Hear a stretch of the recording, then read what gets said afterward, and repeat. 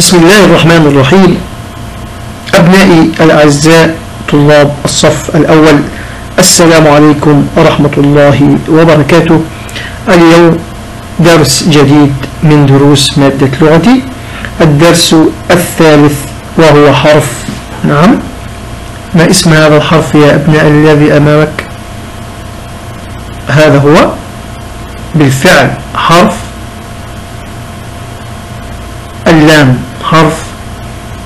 حرف لام انظر إلى هذه الصورة. هذه الصورة صورة أحسنتم ليمون. ليمون.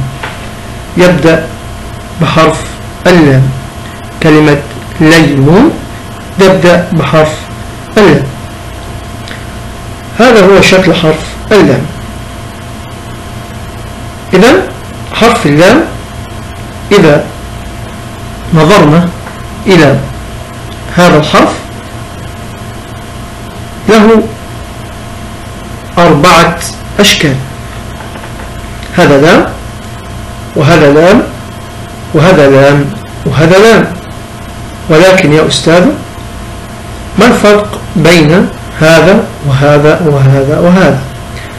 حرف اللام هذا هنا يا في بداية الكلمة وهذا الحرف في وسط الكلمة وهذا في نهاية الكلمة متصل وهذا في نهاية الكلمة منفصل. وسوف نقوم بشرح كل حرف على وكل شكل على حدة. إن شاء الله عندما نتعرض لشرح حرف اللام بالتفصيل. والآن حرف اللام نسمي هذا الحرف قلنا أنه حرف اللام نلونه هيا نلون حرف اللام ولا نخرج خارج إطار حرف اللام. حفظنا شكله يا أبنائي. هذا حرف اللام. الآن نذهب إلى النشاط الثاني. ألاحظ الصورة. ألاحظ الصورة وأقرأ. انظر إلى هذه الصورة وإلى ها وإلى هذه الأسرة ونقرأ هذا المكتوب أسفل الصورة. هيا بنا. جلست الأسرة حول المائدة. فسأل الأب لماذا تأخر ياسر؟ قالت نورة. هو يغسل يديه قال الأب غسل اليدين ضروري قبل الأكل وبعده. مرة أخرى جلست الأسرة حول المائدة. فسأل الأب لماذا تأخر ياسر؟ قالت نورة هو يغسل يديه. قال الأب غسل اليدين ضروري قبل الأكل وبعده. لابد يا بني أن تردد هذا النص وتقرأه قراءة صحيحة. إذن جلست الأسرة حول المائدة. فسأل الأب لماذا تأخر ياسر؟ السؤال يا أبنائي لماذا تأخر ياسر؟ نعم لأنه كان يغسل يديه كان ياسر يغسل يديه ماذا قال الأب لأبنائه قال غسل اليدين ضروري قبل الأكل وبعده. لابد يا أبنائي أن نغسل اليدين قبل الأكل وبعد الأكل. لماذا؟ حتى تكون اليد نظيفة وبعيدة عن الجراثيم والميكروبات والبكتيريا التي تضر بصحتنا. الآن نقوم بقراءة الكلمات أقرأ لماذا؟ لماذا جلست؟ جلست. يغسل. يغسل. الأكل. الأكل. قبل.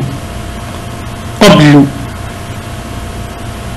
إذا هذه الكلمات نرى الحرف المكتوب باللون الأحمر حرف اللام بأشكاله بأشكاله الأربعة. لي في بداية الكلمة اللا هنا الشكل هذا في وسط الكلمة لو آخر الكلمة متصل مع السين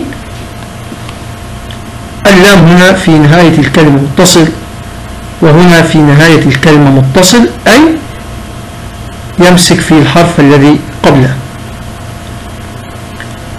مرة أخرى نقرأ الكلمات. لماذا جلست يغسل الأكل قبل نشاط أربعة. أقرأ الكلمات ثم أجرد الحرف. نقرأ الكلمات. ثم نجرد الحرف. هيا بنا نقرأ هذه الكلمة. لماذا لي؟ لماذا لي؟ جلست. جلست. لا. لا. يغسل. لو يغسل. لو انظر إلى حرف اللام بأشكاله المختلفة. وانظر إلى الحركات التي تكلمنا عنها في الحصة السابقة الحصة السابقة الكسرة وهذه حركة الفتحة وهذه حركة الضمة الكسرة أسفل الحرف والفتحة والضمة تأتي فوق الحرف. نشاط خمسة. أميز بين الصوت القصير والصوت الطويل. المد. الصوت القصير يا أبنائي. هنا قصير لعدم وجود المد. أي صوت قصير انطقه بسرعة. لا يتعدى الثانية. لا. لو لي لا. لو لي وهنا الصوت المجموعة الثانية الصوت الطويل يأتي مع حرف حروف المد وقلنا أن حروف المد ثلاثة وهي ألف مد وواو المد وياء المد وحروف المد لا يأتي معها أي حركات ولا فتحة ولا ضمة ولا كسرة. هنا حروف المد الألف والواو والياء. هيا ننطق. لا. بمقدار حركتين. لا لو لي لا لو لي الفتح يأتي بألف والضم يأتي بواو المد والكسر أتى بياء المد. الآن نذهب إلى نشاط ستة. ألاحظ الحرف وأكتبه قلنا عندما تكتب الحرف انظر إلى طريقة كتابة الحرف طريقة صحيحة. التزم الحرف متى يكون على السطر ومتى ينزل أسفل السطر مراعيا الأسهم يا أبنائي. أنزل بالسهم ثم أتجه ناحية اليسار. هذا هو حرف اللام في بداية الكلمة. هيا اكتبه بخط جميل. واكتب حرف اللام في بداية الكلمة ثم نكتبه في وسط الكلمة ثم نكتبه في نهاية الكلمة متصل وحرف اللام في نهاية الكلمة منفصل ونشاهد أمامنا أن حرف اللام في نهاية الكلمة متصلا ومنفصلا ينزل أسفل السطر. نشاط سبعة. وحاكي باستخدام الضميرين هو وهي. هو وهي. الولد نقول له هو يغسل يديه.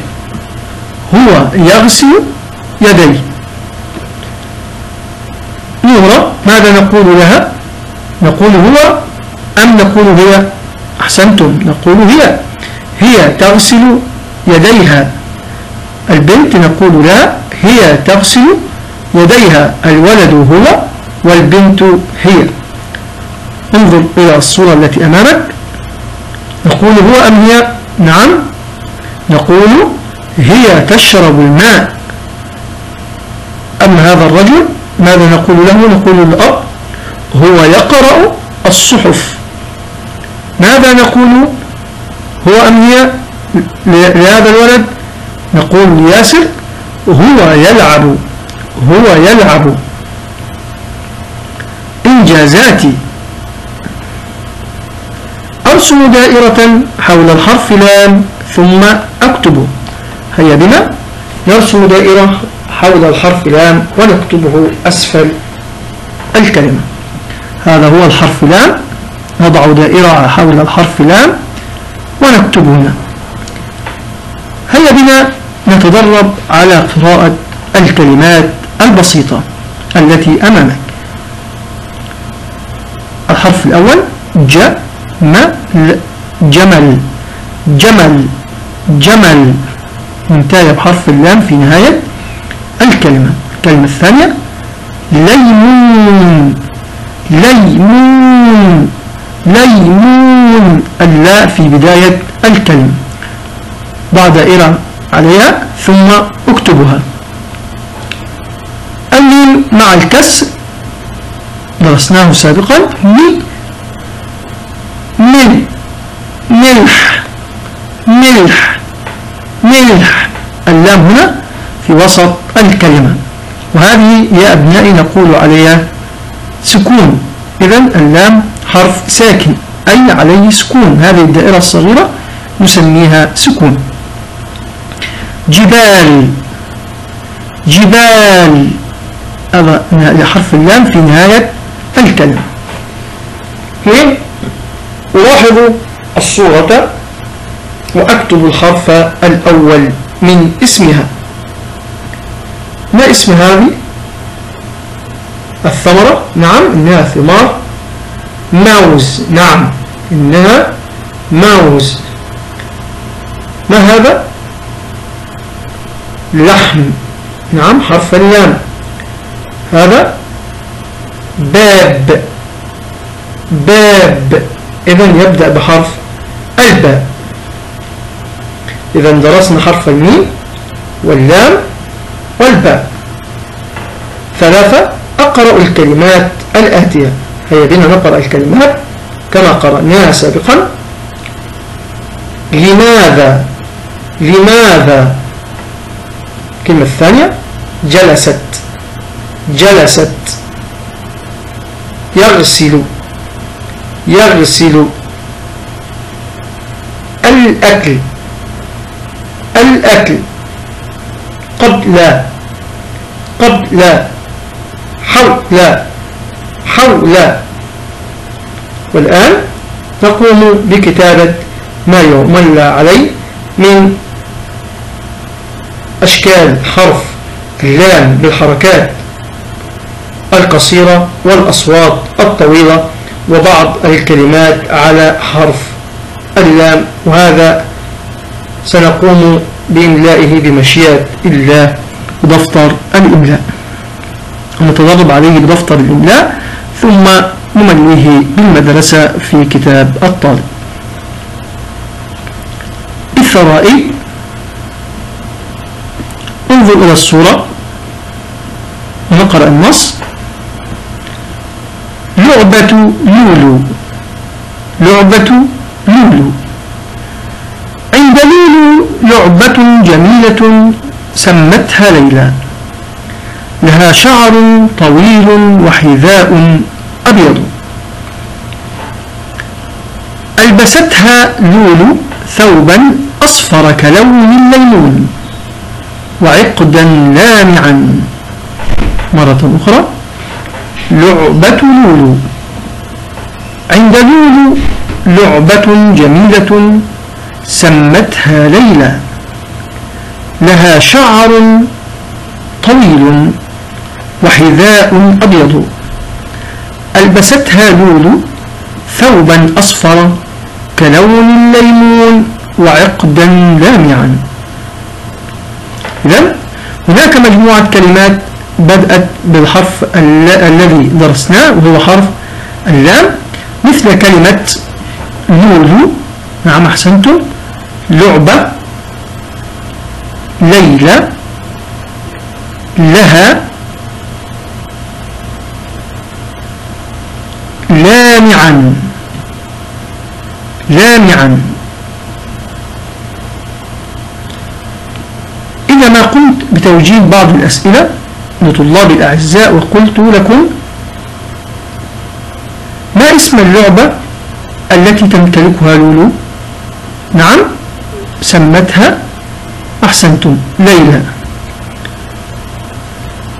هيا بنا نصف لعبة نصف لعبة لولو لها شعر طويل وحذاء أبيض. ما لون الثوب الذي ترتديه اللعبة؟ نعم أصفر كلون الليمون. إذن يا أبنائي إذا ما نظرنا إلى هذا النص نشاهد حرف اللام مكتوب باللون الأحمر بأشكاله المختلفة وبالحركات. هنا لو هنا صوت طويل لو لو. هنا لو لو. هنا لع لا. لا. لا. لون هذا نقول عليه تنوين الضم. تنوين ضم. لون لون وسوف نتعرف على أنواع التنوين بمشيئة الله. في الدروس القادمة وإلى هنا انتهينا من شرح حرف اللام. دمتم بحفظ الله والسلام عليكم ورحمة الله تعالى وبركاته.